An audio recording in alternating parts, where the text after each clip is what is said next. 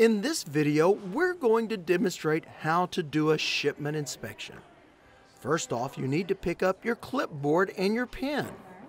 Then take a look at each of the listed items on the clipboard and then go through each of the items one at a time that's on the table in front of you.